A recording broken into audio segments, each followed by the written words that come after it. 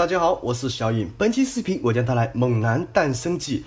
一个夜黑风高的夜晚，村里的一位三十多年成年老寡妇跟平常一样，在将军庙前喝了点烧酒，对着雕像抱怨自己空虚寂寞冷，想雕像赐给自己一个男人，与他做不可描述之事。但抱怨了三十年，连个蛋蛋都没摸着。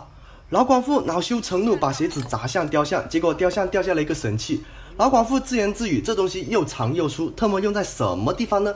神器突然像月光宝盒一样，一阵白光，电闪雷鸣，伴随着腾云驾雾的感觉，一大波穿着加大码纸尿裤的猛男天神下凡，对着老寡妇就是一顿千人斩。这事被报到了当地政府，两个官员只是调侃，觉得这事很荒谬。其中一个官员也很好奇，特么用在什么地方呢？接着一大波猛男出现，两个官人惊呆了。接下来的你们懂的。接着神器就自己飞到了街上，被一个少妇捡到。少妇邪恶地说：“这东西长得好饱满哟，特么用在什么地方呢？”随后天神再次下凡，三十秒内一大波猛男到达战场。猛男扯下纸尿裤，开启了太日天模式，连老母鸡和山羊都不放过。村长老也被拖了进去，一阵操作猛如虎。之后村长老把神器放到酒缸里，埋进了将军庙雕像前，防止有人再误触咒语，让自己菊花不保。就这样一直过了很久，村里男性越来越少，女性越来越多，可能是阴气太重，女人们变得越来越强势。渐渐的，村里被女人统治，男人们都只能猥琐发育，沦为被调戏的对象。说到这里，我们的男主角小强马上登场。登场前，我们先聊聊他的难言之隐。小强有一个哥哥叫做大强，之前两兄弟是靠卖切糕为生，哥哥负责表演帽子戏法，弟弟则负责卖切糕。但是，一次意外，哥哥大强不小心把火点到了小强的裤裆命门处。随着火势逐渐增大，附近又没水，情急之下，大强用封神腿狂踹小强裤裆，但是威力还是不行，实在没办法，大强纵身一跃，使出失传已久的佛山无影脚，伴随着旺仔小雪叔般的清脆声，小强兄弟受了重伤。某天晚上，小强卖切糕，路过一户人家，结果被一个女人强行拖入，拿走了他的衣血，而这个女人就是老寡妇。之后，老寡妇嘲讽他说他下面比蚊子嘴还小，然后扬长而去。后来，在老寡妇金牌讲师面前，村里的女人都知道了，所以小强很自卑，但他很羡慕自己哥哥大强啊，因为大强下面有绝世神器，村里的女人都很崇拜他。想到这些，小强有点恨自己的大哥，因为他现在这样子都是大哥一脚造成。小强闷闷不乐，在山坡上小解，旁边骑来的瞎子郎中一上来就让小强惊讶不已，这简直就是水箭龟的高压水枪。瞎子郎中听到一旁尿尿的声音，就认出是小强，可想而知小强的小兄弟在村里有多出名。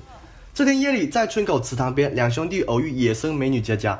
佳佳长得很漂亮，让他们神魂颠倒，掉进了池塘。之后，佳佳的事传开了，村里一些精虫上脑的男人就会去偷窥她洗澡。因为佳佳一个鞋子掉了，所以这些男人找到理由接近她，大家就开始花式水上表演。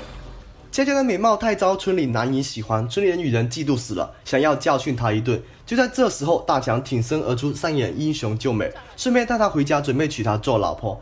小强知道后伤心欲绝，离家出走，在路上误打误撞救起了村长老。村长老听了小强的倾诉，知道他的痛处，于是报恩告诉他，将军庙雕像附近里埋了一缸好酒，喝了它你就会老二超进化，让你重振雄风，光宗耀祖。但只能喝一小口哦，否则将会给村里带来灭顶之灾。小强哪里听得到那么多？他一口就把酒全喝了，然后在酒精的作用下睡了过去。等他醒来后，发现全国陷入了战争，大强代替他上了战场。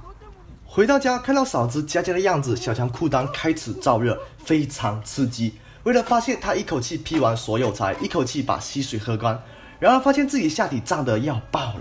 此时瞎子郎中刚好经过，闻到山里起了火，他就说：“我一泡尿就可以解决。”这时，小强又在他旁边尿尿，他想再一次嘲讽小强，谁知道接下来的一幕把小影都惊呆了。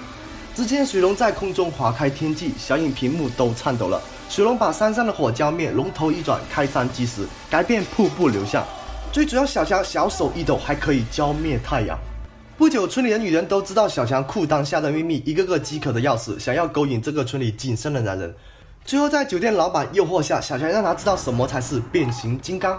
村里其他女人知道后慕名前往，连夜排队，只为与小强做不可描述之事。